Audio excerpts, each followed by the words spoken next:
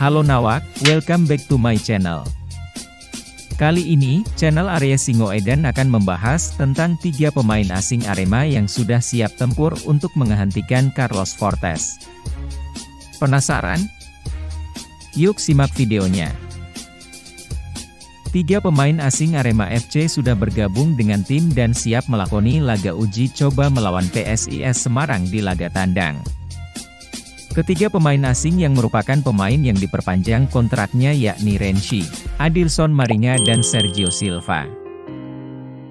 Ketiganya sudah mulai bergabung dalam latihan tim Arema FC.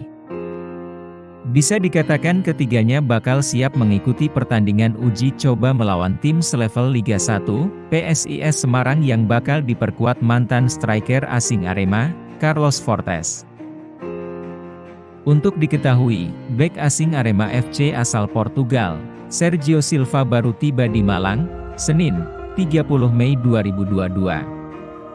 Sergio Silva menjadi pemain asing yang belakangan tiba dibanding dua rekannya karena harus menjalani karantina usai terdeteksi positif COVID-19. Sergio tiba dan bergabung dengan rekan setimnya di saat Arema FC menjalani laga uji coba melawan Deltras. Hanya saja Sergio tak ikut bermain dalam pertandingan uji coba lawan Deltras FC Senin sore. Penyesuaian kondisi itu dilakukan karena Sergio Silva baru tiba Senin pagi. Sergio Silva hanya berlari-lari ringan di pinggir lapangan, dia terlihat mengitari lapangan bersama Evan Dimas yang tengah menjalani pemulihan akibat cedera. Di sisi lain, mantan pemain Arema FC yang kini bergabung dengan PSIS Semarang, Carlos Fortes juga sudah bergabung dalam tim barunya. Carlos Fortes bahkan sudah ambil bagian dalam laga uji coba PSIS Semarang versus PSM Makassar. Fortes dan pemain baru PSIS Semarang lainnya, Taisei Marukawa bahkan sudah mampu bekerja sam untuk mencetak gol di laga uji coba itu.